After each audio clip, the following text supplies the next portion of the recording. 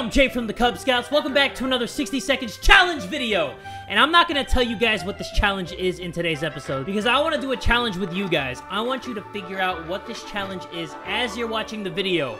I'm not gonna make it super obvious, but believe me, it's gonna be a challenge for me as well because I've never done a challenge like this, guys. So no more talking, we're just gonna jump right into it. If you guys are cool with that and you're down with that, everybody get ready and buckle up, because here we go. So for this challenge, we're gonna go Tsar Bomba for your mama because go big or go home, right? We definitely don't want to go home because I'm already home. We are gonna beat this in one take, okay, guys? One take Jay is in the building. I just walked in. I closed the door. I locked it. I sat my big fat booty cheeks here, and I am ready to do this all in one take.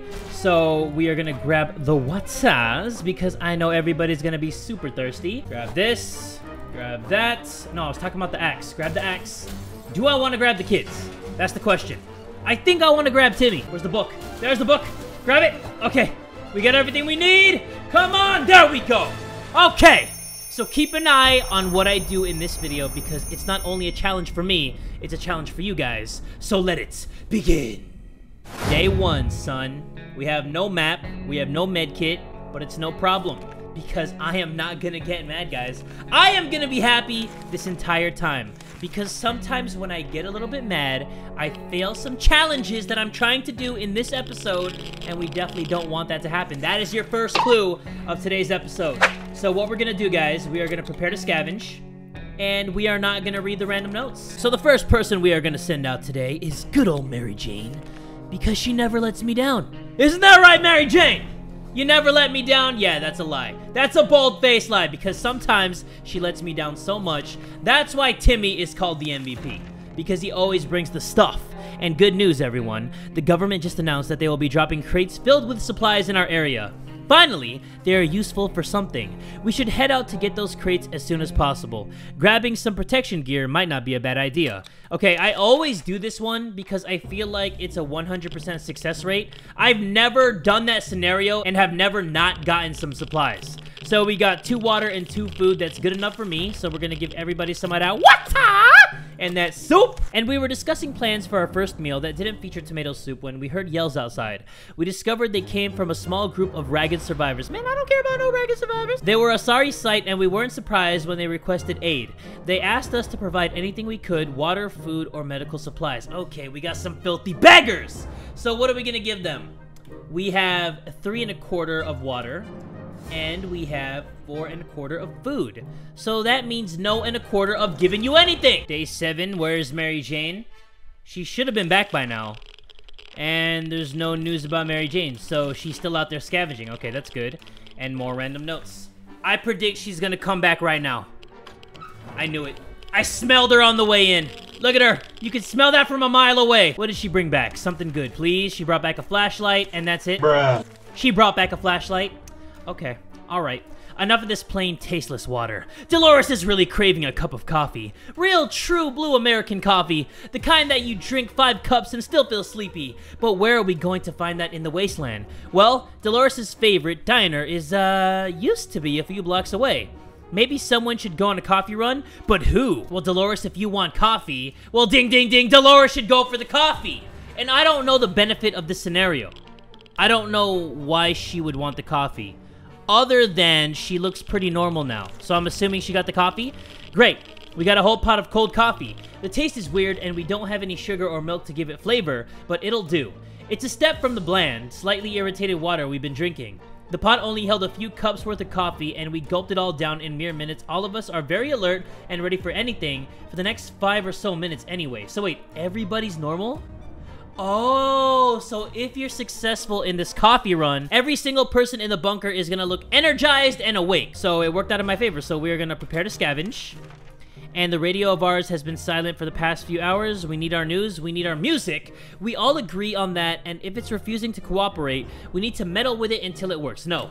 No meddling over here! And it's day 10, so everybody's gonna get some of that good stuff. And I sent Mary Jane last time, but you know what? We're gonna send Mary Jane again, because I make up the rules! Day 11. If there's anyone who can rescue us from this hellish situation, it's our government. You can badmouth them all you want, but that's probably because you're either a naysayer or a commie. Yeah, you filthy commies. The government people are coming, and we should keep our eyes and ears open for any sign from them. Okay, we are gonna do that because we don't have any specific person that we're gonna get rescued by. I'd love to get one of the newer endings, but whichever ending I get first, that's fine because that's not part of the challenge.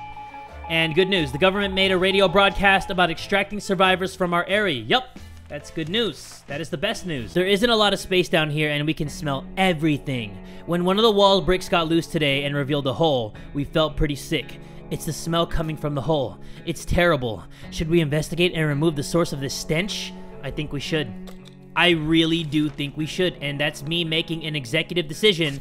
If Ted is sick, if anybody is not sick, okay, nobody's not sick, so I'm not even gonna go on my whole spiel. We lost the radio though, but we got four food, six waters, six, waters, and we got another radio, and we got a map. I declare that July 7th, 2018 is National Mary Jane is the MVP Day. And we didn't expect to get a phone call so soon after the atomic bomb drop, yet here we are. We can clearly hear a phone ringing outside. It must be the public phone booth on the other side of the street. Should someone go answer it? Yes, the MVP, of course. Mrs. President, you have a phone call waiting for you on line three. And what was it, Mary Jane? What was the call? It was the people from the nearby town of Hill Valley. I love it. I love it so much. I love it so much that I'm going to give you guys the good stuff. And does anybody even need to go outside? I got everything that I need, except for a med kit. But you know what? I think we'll be fine. So nobody's gonna go out. Everybody hangs out tonight. Party on me. We stumbled upon the remains of a bandit shantytown. Someone or something tore it down. Incidentally, amidst the rubble, we found a cat licking its paws nonchalantly, surrounded by blood and dismembered limbs. Ooh, family friendly. As we made our way back to the shelter, the cat followed. We can now hear its paws impatiently scratching our hatch. Should we let it inside? If you don't let a cat inside the bunker after it's scratching its claws on the door, you have no soul. I mean, I have no soul, but I'm saying you might have no soul. And there he is. His name is Sharko. When we opened the hatch, the cat jumped in and marched around the whole shelter, sniffing all of us, every wall, corner, empty soup can, and piece of furniture. Finally, it picked a quiet place, sat down, and let out a deep sigh before taking a 12-hour nap. Its collar has Sharikov etched into it. What kind of name is that? It's the greatest name in the freaking world. What's it to you? Nobody's gonna go outside. And more random notes. I feel like I'm gonna get rescued really quick here. Because I have three scenarios of people rescuing me. And I know that one of the endings with Sharikov is like the FBI coming to you and getting you. So maybe I can go for that ending because I think I can make that one happen quick. Day 19. If Sharikov considers our shelter its home now, we might as well try to get along. We could try to carry it around and pet it on the head. All cats like a good pet, and Sharikov should hopefully be no exception. Otherwise, any attempt to touch the cat could lead to our untimely deaths. Should we try to play with him? I don't remember what to do here. I don't know if we pet him, if we get hurt. I think Ted gets hurt. If we don't play with him, I don't know if he hurts us anyway, you know? We're just gonna go with the pets. And I think that he's gonna mess up Ted's face. I'm pretty sure he does. He made him sick. Ted seemed to have developed an allergy to our furry guest. Oh, yeah, he's allergic. Okay. He's allergic to the kitty. But I don't have any medicine. If he dies, it's okay because we still have Dolores. But you know what we're going to do? We're going to prepare to scavenge. And Sharikov is still a fresh addition to our little family, so we need to keep an eye on it. And believe it or not, just today we noticed something else on its collar. It seems to be a metal plate with an address on it, and it's not far. Should we take a quick trip and see what's there? Yes! Because that is the beginning to another ending, which we want to get because we want to get rescued ASAP. And Timmy's going to go out into the wasteland, and hopefully he can bring back his father a medkit. So let's send Timmy out with no gas mask because the fallout is mostly gone. And if you guys have never seen an episode of this before and wondering where the cat went, I think he's like chilling in the town for a little bit, and then he'll come back eventually. So he's not dead. Just because he left the bunker doesn't mean he's dead. Day 25. Curiosity almost killed the cat. Sharikov found a tiny wire sticking out from the ceiling and pulled it out. Plaster and debris fell on our table, topped off with a big meowing furball. What is this thing anyway? Nobody remembers it being there before. The cat might get angry if we take away the wire, so maybe it's best to leave it be? Or should we examine that wire? Okay, so this is the one with the FBI. I think they're right above the bunker and like they're doing some type of surveillance. If we check it out, then we're gonna trigger like that FBI ending. If we don't, then we're gonna get different endings. maybe I kind of want to get the scientist ending, so let's say no for now, because I don't really feel like getting that FBI ending. I feel like doing a longer challenge, and Timmy is back. He didn't bring back a med kit, but our favorite Ginger brought back one can of soup, two waters, and that's it, man. That's about it, man. I'm gonna prepare to scavenge, and Ted's dead anyway, guys. So I'm gonna send him out. If he ends up not coming back, then he's not coming back. And alerts! There's a gang of firefighters outside! What the heck? Okay, we're just gonna use the lock. It hasn't even been how many days? It hasn't even been 28 days. And there's people outside trying to bust our butts. We didn't think that a small padlock would stop them, but it turned out to be enough to discourage the unknown attackers. It seems that they gave this whole break-in a fair shot, but ultimately gave up and left. Too bad that padlock is in no shape to be used again. We need to think of other ways to fight off the bandits and other soup-hungry barbarians. Okay, so now they're not gonna stop coming, so I need to get an ending right away, or it's gonna end very bad. It's gonna end a little, little bad. Day 30. A scientist, at least supposedly, arrived on our doorstep yelling, Dr. Sharikov, are you in there? He was looking for his lost cat, but kept referring to the pet as his favorite assistant. His research apparently can't go on without the cooperation of Dr. Sharikov. Since the cat doesn't seem keen on moving out of our bunker anytime soon, the doc wants us to compensate him by helping him with his project. In these circumstances, it might not be the worst idea to befriend other wastelanders, even the bat crazy ones. So now I remember why the scientist ending is so difficult to get. It's because he wants you to do so many things. There are so many steps in order to get this ending. I don't think I'm going to get it because I don't have enough supplies, but we're going to try. The goal here is just to get rescued no matter what, but hopefully I can do the scientist ending. A traveling salesman paid us a visit today. He introduced himself as Willie. Well, hello, Willie. Apparently, business can do well even after the end of the world.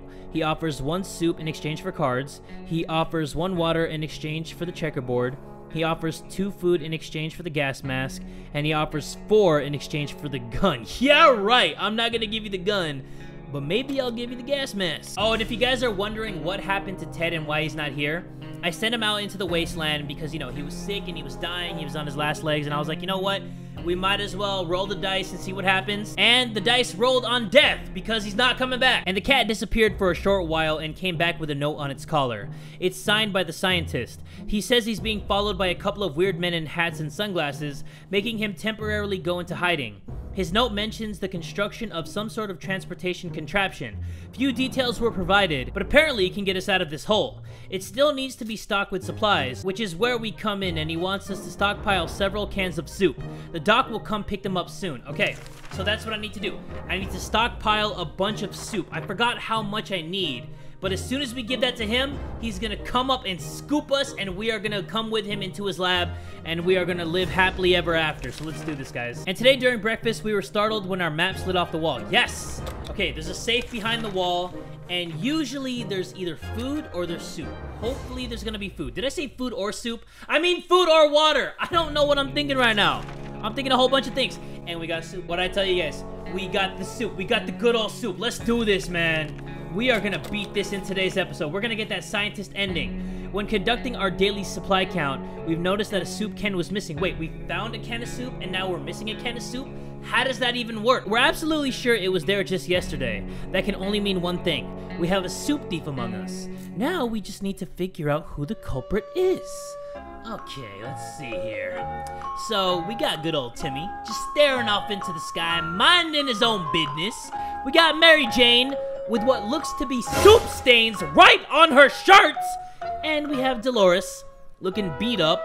And I don't know if that's a soup stain or some kind of other stain that I don't want to talk oh, about. But you know what? We're gonna blame Mary Jane. I think it was her. It had to have been her. Let's see if we were right. She still has that same blank look. And we know what you did last night, Mary Jane, and we're so disappointed in you, young lady. We didn't raise you to be a nasty soup thief. Yeah, okay. So I guess we were right for blaming it all on her. And the doc came on our door to collect some supplies that he requested. They're important for the project, he said. We can trust him. After all, he's a doctor! We shared what we could. Thankfully, it was enough. The doc nodded with approval and promised he'd come back before disappearing with our supplies. We're still wondering if we made the right decision. And now we have negative four cans of soup. That's not good. That's still a bad. That's still a ritter, ritter bad. And Timmy and Mary Jane are in need of some physical exercise. Letting them run outside in the wasteland seems a bit too adventurous, but they could play tag inside the shelter. It's not like we have any expensive vases or antique dishes down here to be broken. Should we let the kids play? I don't think I've ever gotten this scenario, so I'm gonna say yes. And if something breaks, I'm gonna break something of theirs. Let's see. Everything seems to be good. The kids were ecstatic. Watching them play was a real treat. They looked so happy. When Mary Jane pushed Timmy around, he fell face first on an unopened soup can that was hidden in the corner of the shelter behind some empty bottles. What a lucky day for us. And we're sure Timmy's face will be just fine. And nobody's gonna go outside because there's still gunfire and screams outside. And we don't like gunfire and screams. And after all the days we spent down here, we're not exactly clean. They smell bad, the real, real bad. It didn't bother us until we noticed it. Okay, so uh, Mary Jane's stinking up the place. So we are gonna use the bottle of poison and that's gonna make everybody smell nice and dandy. And a gang of thugs started banging on our door, ordering us to surrender and give all of our supplies. How do we respond to these scumbags? We grab an axe and we swing it across their ugly face! We were able to defend our home this time. What if they come back? Then we take the only weapon that we have and we swing it across their face! Day 41. The mad scientist has asked us for one of us to join him in his lab for an experiment that's apparently vital to his project. We don't really know what to expect, but he says it has for research on wasteland diseases. Is this something we want to take part in? Who's the best one fit to survive a mysterious and potentially dangerous experiment? Okay, I'm gonna choose Mary Jane, and when I got this ending the first time, I thought that once we give her to the scientist, he's gonna end up turning her into Mutant Mary Jane, but I don't think that she turns into Mutant Mary Jane going with him. I think that she just comes back and is like crazy. And Mary Jane's back! And she's looking better than ever! Mary Jane is back with a really weird look on her face. She refuses to say what she saw. Mary Jane's diet could use a little food. Mary Jane caught something nasty. Mary Jane went nuts. Mary Jane was injured. I wonder what that scientist put her through. She was only gone for like two days. And we could really use some more supplies. We counted all of them today and the numbers did not make us happy. Time to do something about it. We know that a teacher from the local school managed to rescue a bunch of kids and lead them to a nearby building where they're relatively safe. And we could really use whatever they have. We could really use it, right? Well, I need to protect myself before I wreck myself. Hopefully they have like some guns, an axe, a padlock, something, because I know these bandits are gonna come in chimichanga hot, but I didn't get anything except four cans of soup. Well, there you go, guys. I know the bandits are gonna come. Yup, they just came, so we gotta use the gun. And now that we have no weapons, Dolores' kids are the last line of defense. Like, they're gonna slowly take them one by one, and then it's Dolores. So I have about two more times of the bandits coming before I get a game over. So the scientist needs to hurry up and get us quick. So many days have gone by. Come on, scientist. You gotta pick us up. You gotta rescue us. Let's go. And they're back. Who are they gonna take first, guys? Mary Jane or Timmy? I'm calling Timmy. Oh, they took Mary Jane first. You scumbags. We woke up to the sound of banging on our door. Someone has been at it like there's no tomorrow. In a manner of speaking, that might be true. Shall we open the door? I don't think it's gonna be the Raiders. It's gotta be the scientist. Come on. Come on. The end. Scientist? Yeah! Oh my god, we got the scientist ending on Tsar Bomba on the first try. That's what I'm talking about. And it only took us 50 days in the game to do this challenge. Have you figured out what the challenge is yet, guys? I gave you guys small little clues throughout the video about what the challenge may be about. If you guys can get it right in the comments below, I'll be very, very impressed. But anyway, guys, that's gonna do it for this episode of 60 Seconds. If you guys enjoyed this video and want more 60 second challenges in the future, make sure you guys give this video one big fat like. And tell a friend today that Jay from the Kubz Scouts is there, dude!